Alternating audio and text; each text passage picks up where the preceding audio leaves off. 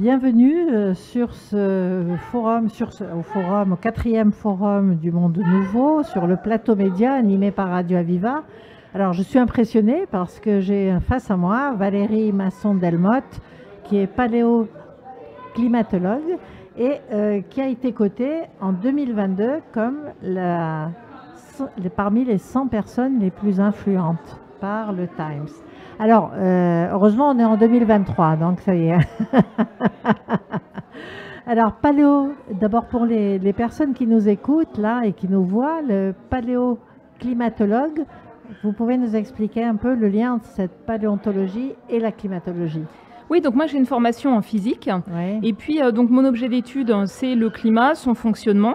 Je rappelle que vous êtes au CEA, hein, au commissariat à l'énergie atomique, en direction de service. Hein. Au laboratoire des sciences du climat et de l'environnement à Saclay, qui est un laboratoire universitaire. Et donc euh, mon objet d'étude, c'est le climat et euh, caractériser, comprendre les variations passées du climat ça permet en fait de décortiquer finalement la manière dont le climat fonctionne, comment il a réagi aux perturbations naturelles, et d'avoir un recul long pour mettre en perspective les changements actuels et aussi pour évaluer les modèles de climat à base physique qui sont essentiels pour euh, produire des connaissances sur les futurs possibles et en tenir compte pour s'y préparer.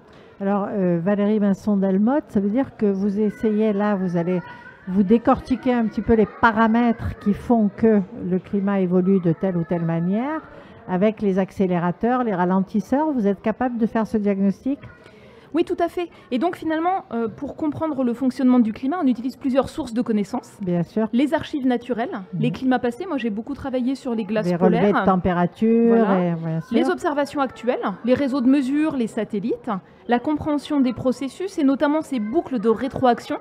C'est-à-dire que quand on perturbe le climat, il y réagit avec des facteurs amplificateurs et stabilisateurs. Et puis la modélisation à base physique, qui est un aspect extrêmement important aussi. Donc euh, finalement, aucune modification de nos comportements euh, ne nous évite, on ne peut pas éviter la répercussion sur le climat. Alors en fait, l'influence humaine sur le climat maintenant, elle est prépondérante. C'est vraiment ça qui est frappant, notamment quand on regarde l'évolution de la teneur en gaz à effet de serre dans l'atmosphère. Elle a varié dans le passé à cause de facteurs euh, naturels, géologiques. Mais aujourd'hui, c'est vraiment dominé par l'influence humaine. C'est une rupture hein, par rapport aux variations passées. Et même sur le réchauffement planétaire, qui atteint 1,15 degré de plus qu'à la fin du 19e siècle, notre meilleure estimation en intégrant toutes les connaissances, c'est que c'est entièrement la conséquence des activités humaines qui perturbent humain. Voilà le bilan d'énergie de la Terre.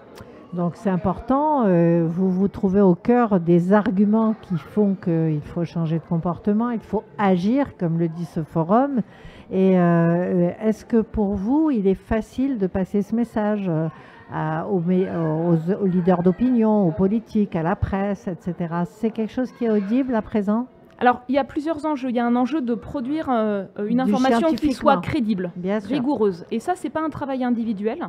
C'est aussi le travail collectif de milliers de scientifiques partout dans le monde et leur examen critique des éléments probants. Après, c'est fournir des informations qui soient pertinentes, qui soient utiles, euh, localement et localement. C'est-à-dire, euh, on est à Montpellier. Ce qui compte à Montpellier pour se préparer au risque climatique, c'est une information régionale. Sur la ville. Fiable. Sur le, territoire. Exactement. Et puis ensuite, euh, c'est également donc d'éclairer pas seulement les risques, mais aussi les solutions possibles. Et dans le cadre à la fois des rapports du GIEC que j'ai supervisés, mais aussi dans le cadre du Haut Conseil pour le climat, on a une évaluation euh, des euh, solutions qui ont émergé, qui sont maintenant disponibles, leurs effets indésirables, leurs bénéfices. Ce n'est pas les scientifiques qui fournissent la feuille de route, mais ils fournissent des informations qui montrent tous les choix qui sont maintenant possibles. Une évaluation du bénéfice-risque, finalement. Est-ce que voilà Par exemple, si on décarbone massivement l'économie, on améliore massivement la qualité de l'air, on évite des dépenses de santé publique. C'est pas simplement une histoire de climat.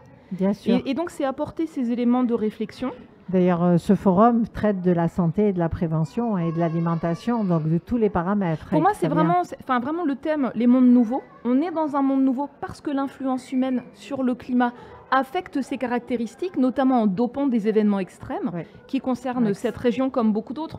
Chaleur extrême, l'eau, intensification du cycle de l'eau, donc plus extrême, mais aussi sécheresse agricole plus intense, montée du niveau de la mer. Donc c'est un monde nouveau. Et les connaissances scientifiques, elles sont essentielles pour savoir à quoi se préparer, mais aussi pour examiner quels sont les leviers d'action. Et pour moi, c'est la chose la plus importante. On a la possibilité quasiment de diviser par deux les émissions de gaz à effet de serre dans le monde d'ici à 2030. C'est Techniquement faisable. Quelqu'un de scientifique et de formé comme vous et au cœur du processus décisionnel du GIEC, etc., nous dit que c'est faisable. C'est techniquement faisable avec trois grands volets. Oui.